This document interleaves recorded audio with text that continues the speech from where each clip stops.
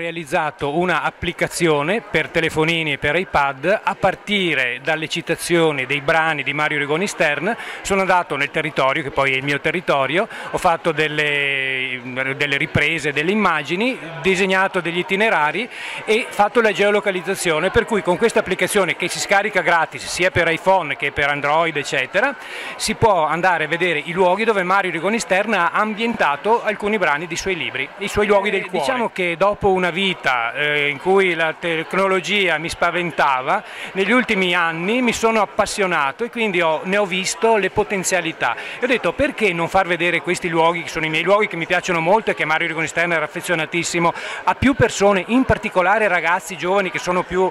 più, dire, utilizzano di più questi strumenti. E diciamo da questa idea mi è venuto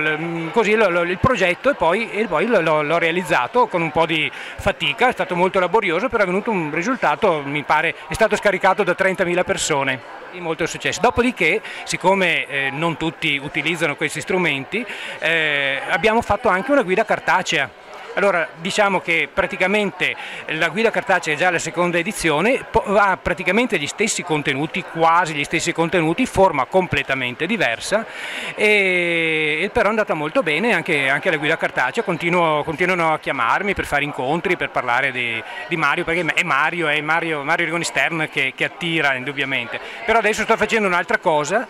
legata ad altri scrittori veneti,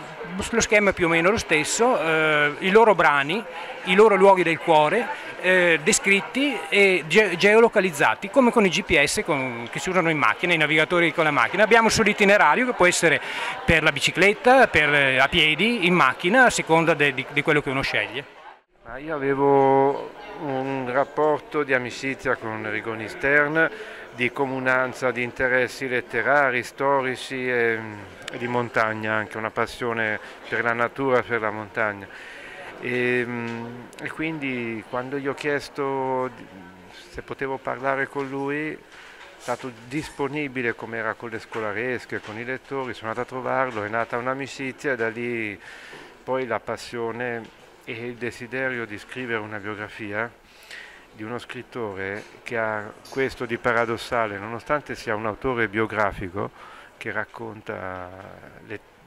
la storia della sua vita, le tragedie della storia che ha attraversato, eh, eppure ho, ho potuto scoprire, capire che tanti aspetti erano rimasti fuori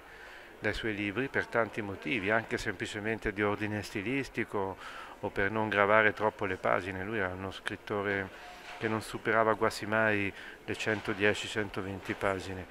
e quindi lavorava come il suo grande amico Primo Levi più per togliere che per aggiungere e quindi di cose da, da raccontare ce ne sono tante. Eh, ho potuto raccontare aneddoti eh, davvero sconosciuti come mh, il motivo per il quale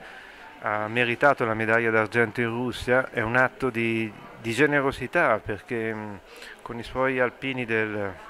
Vestone erano stati lanciati contro le linee del Don e poi si erano trovati incuneati senza l'appoggio aereo di artiglieria promesso ai tedeschi.